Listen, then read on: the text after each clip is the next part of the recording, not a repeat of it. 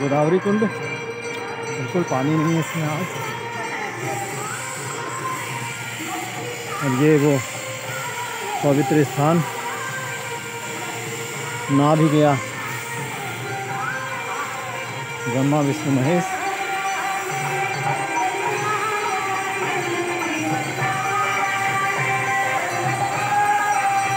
चक्रतीर्थ के दर्शन।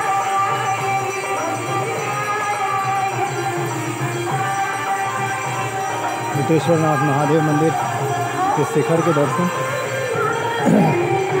अच्छे परिवार।